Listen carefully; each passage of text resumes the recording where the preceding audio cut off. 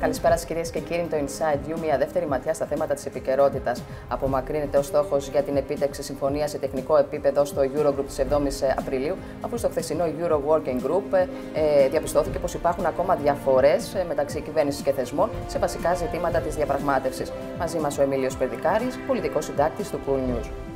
Τέτα, καλησπέρα. Ενώ είχαμε την εικόνα ότι η συμφωνία κλείνει ε, μέχρι την χθεσινοβραδινή συνεδρία του Euro Working Group, ξαφνικά ανακαλύψαμε ότι η συμφωνία αυτή ανοιγοκλίνει. Διότι υπάρχουν διαφορές, υπάρχουν πάρα πολλά θέματα τα οποία μένουν τελικά ανοιχτά, όσο και αν είναι λεπτομέρειες ε, για να καθοριστούν. Πράγμα το οποίο σημαίνει ότι οι βάσιμες υποψίες αναφέρουν ότι δεν θα υπάρξει μια συμφωνία μέχρι το άτυπο Eurogroup της 7ης Απριλίου και θα χαθεί και αυτό το ορόσημο. Τώρα τα πράγματα φαίνεται να αλλάζουν με βάση την ενημέρωση που είχαμε πριν από λίγο. Το Μαξίμου, δηλαδή κυβερνητικές πηγές, διαρρέουν ότι εντός της ημέρας θα ληφθεί μια απόφαση για επιστροφή των τεχνικών κλιμακίων των θεσμών στην Αθήνα για να συνεχιστούν οι διαπραγματεύσεις. Εφόσον συνεχιστούν οι διαπραγματεύσεις και υπάρξει σημείο επαφής, αυτό σημαίνει ότι και οι επικεφαλεί των θεσμών θα επιστρέψουν μέσα στην επόμενη εβδομάδα στην Αθήνα ώστε να κλείσουν οι διαπραγματεύσεις και έτσι να πάμε προς μια τεχνική συμφωνία, αυτό το λεγόμενο Staff Level Agreement, στο Eurogroup της 7η Απριλίου. Και από εκεί και πέρα, βέβαια, να ξεκινήσει η συζήτηση για την λεγόμενη συνολική συμφωνία που θα περιλαμβάνει τη ρύθμιση του χρέους και τα πρωτογενή πλεονάσματα για μετά το τέλος του προγράμματος, τους στόχους για τα πρωτογενή πλεονάσματα, όπως θέλει η κυβέρνηση μέχρι το Eurogroup του Μαΐου, στις 22 Μαΐου. Ποιες είναι οι διαφορές; Ναι, οι διαφορές είναι λοιπόν με βάση τα όσα ξέρουμε εξής.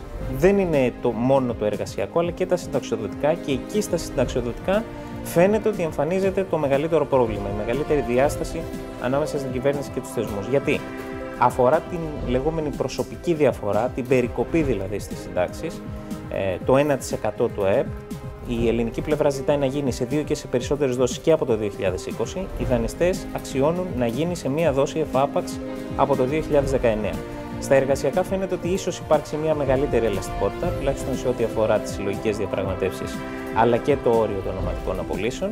Μένει όμως να δούμε πώς αυτά τα δύο θα συνδυαστούν. Εκείνο το οποίο έχει κλειδώσει είναι ασφαλώς η μείωση του αφορολόγητου, το είπε και ο κύριος Τσακαλώτος εχθές στους βουλευτές του κυβερνητικού εταίρου, των ανεξαρτήτων Ελλήνων.